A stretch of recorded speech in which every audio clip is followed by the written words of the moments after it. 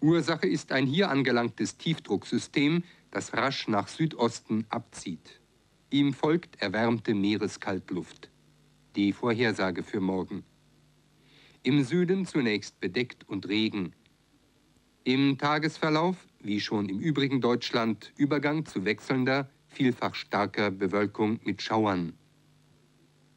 Tiefsttemperaturen 5 bis 0, Tageshöchsttemperaturen 4 bis 9 Grad.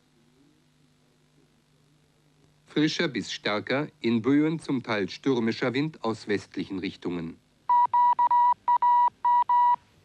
Wir melden uns wieder um 22.30 Uhr mit den Tagesthemen und dem Bericht aus Bonn.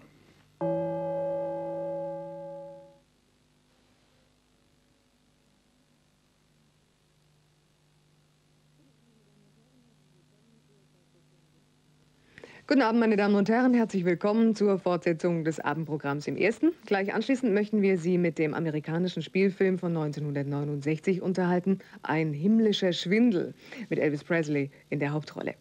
Gegen 21.45 Uhr folgt das ARD Wirtschaftsmagazin Plus Minus, heute vom Südwestfunk. Es hat einmal ausgerechnet, was den Autofahrer unter Berücksichtigung der Kraftfahrzeugsteuerbefreiung, der Kauf eines Katalysatorautos oder die nachträgliche Umrüstung kostet.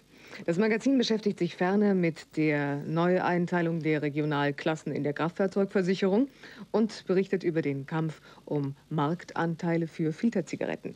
Durch die Sendung führt Manfred Trebes. Die Tagesthemen melden sich wie gewohnt um 22.30 Uhr.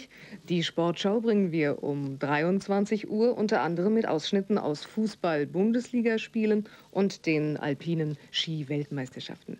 Gegen 23.25 Uhr ist heute Abend Jürgen Hingsen zu Gast bei Joachim Fuchsberger. Dann kommt um 0.10 Uhr eine weitere Episode aus der Reihe Die Kur. Sie trägt den Titel Bernhard und Effi. Und gegen 1.10 Uhr beschließt die Tagesschau mit letzten Meldungen das Programm. Liebe Zuschauer, in unserer Reihe mit Filmen des amerikanischen Rocksängers Elvis Presley zeigen wir Ihnen jetzt als deutsche Erstaufführung ein himmlischer Schwindel von äh, William Graham. Als dieser Film Anfang 1970 in Amerika uraufgeführt wurde, da feierte Elvis gerade ein sensationelles Comeback mit äh, spektakulären Bühnenauftritten in Las Vegas. Auch wenn sich die Filmangebote häuften, ein himmlischer Schwindel, sein 31. Film, ist sein letzter geblieben. Es steht geschrieben,